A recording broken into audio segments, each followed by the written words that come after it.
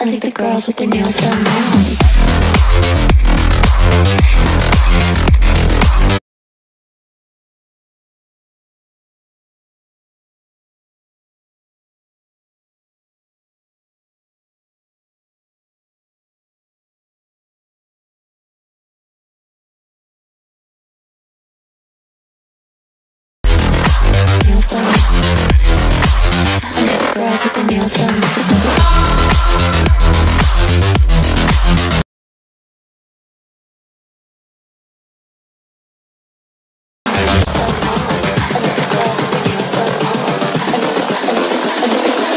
I like the girls with their nails done now.